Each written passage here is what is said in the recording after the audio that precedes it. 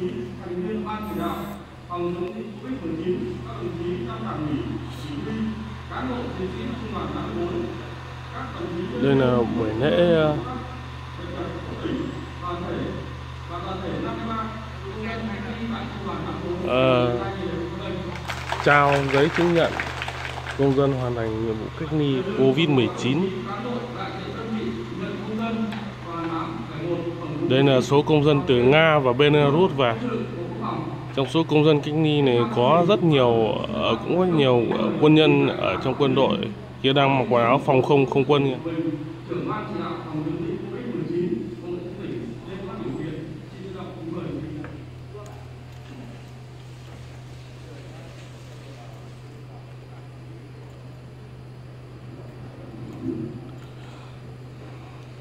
Kính thưa toàn thể đồng chí,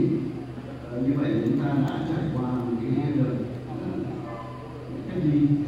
đối với các dân từ nước ngoài về. Và đồng chí cũng này, các đồng chí hai là thứ bảy. Thì đồng chí đã kéo dài đến tháng. Số công dân cách ly lần này à, tám diễn biến của tình hình dịch Covid-19 là hết sức phức tạp và hiện nay còn hơn. Một sáng ngày hôm nay 85 người sáu ca Covid phát hiện Đấy, ra trở về từ Nga và Belarus. uh, họ nghĩa ra thì họ đã được uh, cách ly xong cách đây 14 ngày thế nhưng mà họ lại phải ở lại thêm 14 ngày nữa ờ, lý do là trong số họ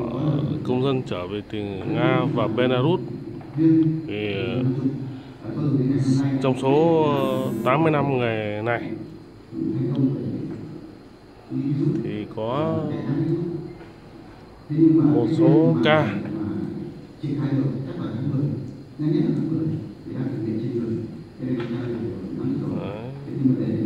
À, mắc Covid. Có 4 ca nhưng mà đưa đi ờ, viện chữa khỏi rồi. Thì họ lại được ra trước.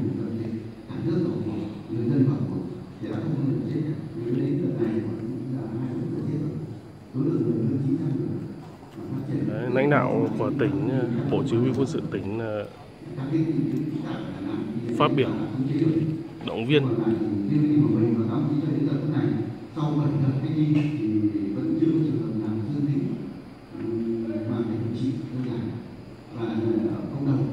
Đấy, chia tay những người ờ, công dân cách ly ở đây. tuy nhiên vấn đề phát triển kinh tế xã hội thì chúng tôi sẽ vẫn duy trì ờ, phát triển theo cái nhịp độ bình thường tuy nhiên bên cạnh đó thì tuyên truyền vận động nhân dân tổ chức các biện pháp cách ly ờ, theo phương án của chính phủ và những năm các đồng chí ở đây chúng ta đều là công nhân học ở nước ngoài. Thế trở về nước thì các đồng chí cũng là bây giờ là lần đầu tiên chúng tôi phải Ờ, chủ yếu là quân nhân ờ, một lần thì cũng bốn ngày đã ra nhưng lần này thì kéo dài đến một tháng rồi các đồng chí cũng vất vả nhưng ngược lại anh em chúng tôi cũng rất vất vả những đồng chí là bảy quân nhân sống cùng đồng chí bên trong cái gì gọi là gói thì cũng bằng đấy hết thời gian nhưng sau khi công chí về thì 14 đồng chí này đã tiếp tục tự cách ly 14 ngày nữa cho nên là cũng rất là vất vả và các đồng chí cũng vậy thôi thì uh, bác sĩ về đây để cách ly ở của mình thì cũng là một cái uh, một cái vinh dự của mình để biết các đồng chí uh, công dân ở nước ngoài về nhưng mà những người đồng chí đều là sĩ quan hoặc là học viên sĩ quan đang đào tạo ở nước ngoài uh, thì là hết sức quan trọng đảng nhà nước ta đã cố gắng chỉ đi đào tạo như vậy để quân đội cũng rất mong đồng chí chia sẻ với những điều kiện khó khăn để của mình à, hòa bình và báo chí là cũng là cái tỉnh các cái đồng chỉ biết đến thế nhưng mà vì nghèo.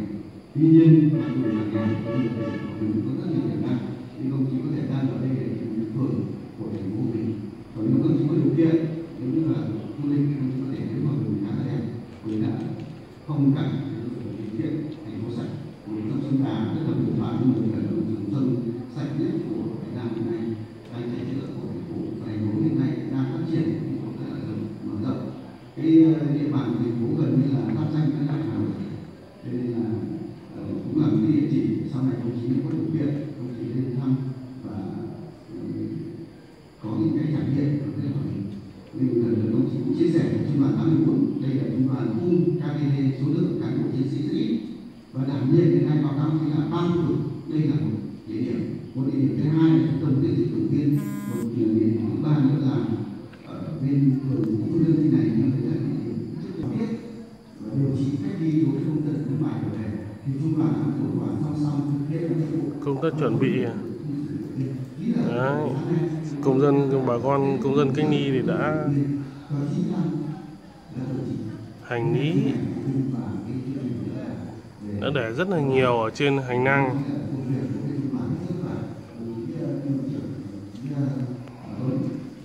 Đấy. với công chí là một phương án để mà cách ly tại đây thì đây là hành lý ờ, số công dân nó để ra rất là nhiều để chuẩn bị chuyển lên xe ô tô lên đường. Đấy. Còn xe xe chuyên dụng của bên ờ, uh, CDC tức là bên trung tâm kiểm soát dịch bệnh cũng như là hai cái máy ờ, hai cái máy ờ, phun thuốc khử trùng. Sau khi công dân ra là sẽ tổ chức phun khử trùng sạch sẽ. Đấy giờ nhà cửa phòng ở doanh trại. Đấy, và khử sạch sẽ ở môi trường không gian xung quanh để mục đích là diệt trùng diệt virus covid 19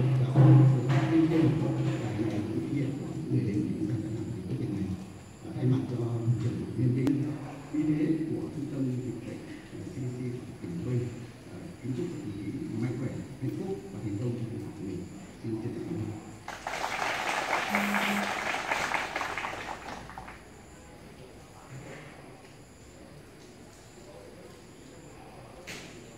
Xin trân trọng cảm ơn đồng chí đại tá Vũ Minh. Tiếp theo chương trình là phần trao giấy chứng nhận hoàn thành thời gian cách ly. Xin mời ờ, mời đồng chí đặt hàng đầu bước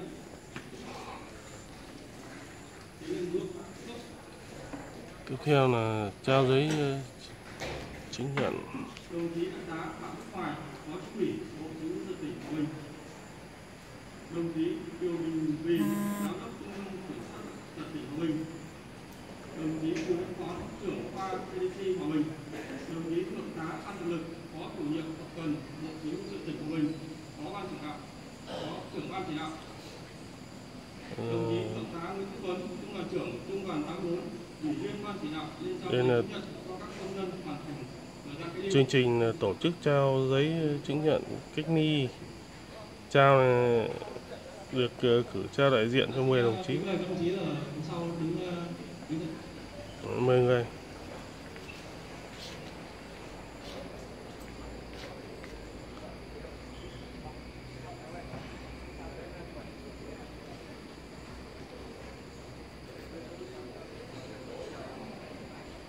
Đồng chí nhận là sau này